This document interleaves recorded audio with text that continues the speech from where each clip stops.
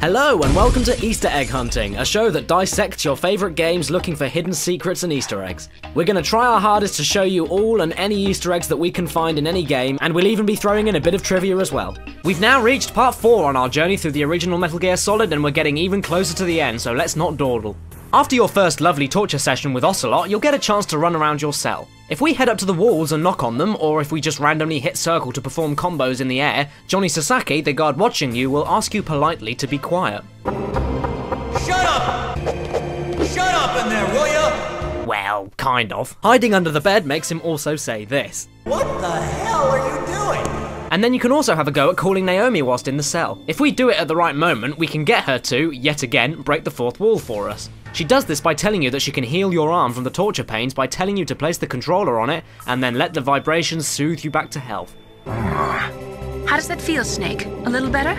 How did you do that? And now we can get up to all sorts of mischief as we can escape this cell in multiple ways. The first way is as follows. Wait for Johnny to head off to the bathroom or fall asleep. Whilst he isn't looking, hide under the bed. When he returns and notices that you're not there, he'll open the cell up and look for you and he's all confused and lost. and It's quite cute. And then you can just sneak attack him and run away. The second way is to wait for Otacon or give him a call whilst in the cell and then a few moments later he'll arrive to help you with some ketchup.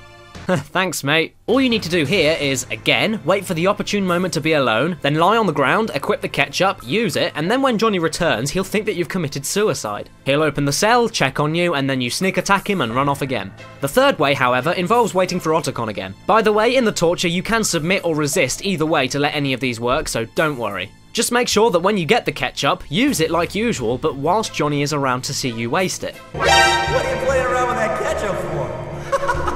After that, he'll go into the bathroom again, and whilst he's gone, you'll then be rescued by the ninja who will slash the lock in the original and slice the door in half in the Twin Snakes. Also, if we escape the cell without killing or knocking out Johnny, he will end up chasing us. Once you get to the torture room, however, this will trigger a moment when Johnny has yet another bout of diarrhea and then rushes to the toilet. If you then follow him and knock on the door that he's in, he'll groan in pain.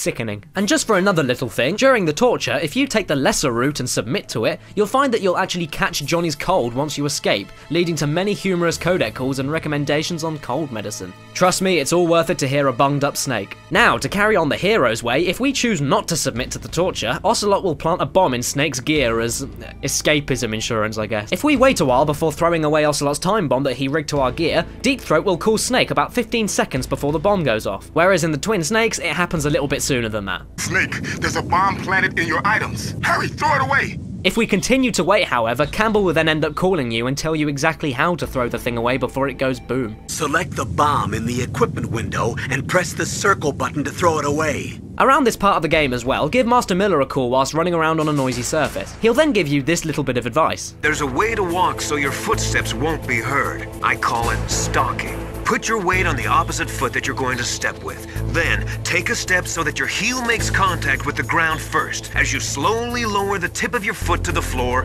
gradually shift your weight onto that foot. Snake then replies that he's frustrated and can't do it, to which Miller replies, Another way is to wear your socks over your shoes. In the Twin Snakes, however, this line ends up actually being changed. In practical terms, you should be moving the control stick very gently. Like many other moments of this game, another throwback to Metal Gear 2 is visible after this section with the spiral staircase chase scene, where a near identical event occurs. After all that madness, things get even more mad when we have to fight a Hind D gunship of all things. Just before this battle though, when you first see the gunship itself, try calling Miller, and then you'll see that we get no response from him. This is actually a strong foreshadowing to Miller's true identity, as some of you already know. Then we can get to the actual battle, where another fourth wall codec moment could be performed here by calling Campbell, who will tell you, to help you out with locating the gunship, to listen out for the rotor blades of it with your stereo TV. However, setting the game sound to mono, or playing on a mono TV, provokes the following call of disbelief. Huh? Snake, you're not using a stereo TV? It can't be. A mono TV? Hmm. Well, Colonel, there's nothing we can do about it. Although after that little bit of degrading, Campbell will still reassure you that you can beat the Hind D without the use of a stereo television anyway. There's more to being a good person than just having a stereo television.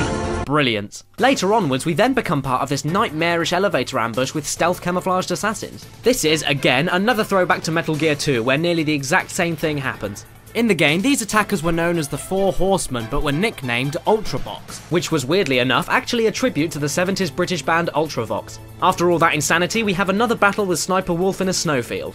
When she hijacks your codec, she mentions a love letter being a bullet from her gun. Well, I'm going to send you a love letter, my dear. Do you know what that is? It's a bullet straight from my gun to your heart. Which Dennis Hopper's character in Blue Velvet, Frank Booth, also mentions. I'll send you a love letter. Straight from my heart, fucker! You know what a love letter is? It's a bullet from a fucking gun! After another long cutscene and after the epic battle itself, you can have a little nose around and you may notice that you can see a parachute caught tangled in a tree. This is actually the same parachute that Liquid used to escape the crashed Hind D that you just blew up. If you then end up looking directly at it, you'll trigger another call with Campbell. I found a parachute near the wreckage of the Hind. A parachute?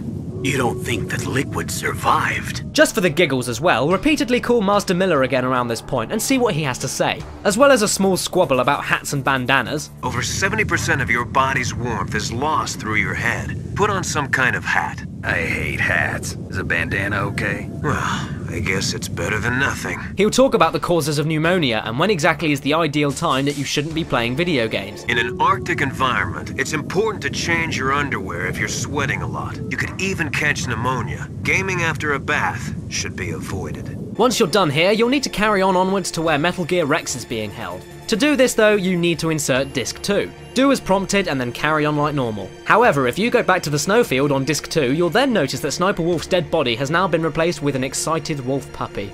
Now that's just adorable.